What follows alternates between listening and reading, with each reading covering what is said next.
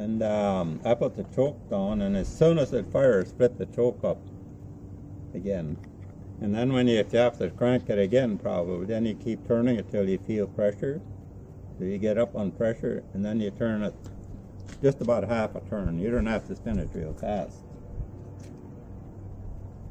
Okay, Should I spin it? put your hand back about, about here, Mm-hmm. like about here. You can put both hands on there.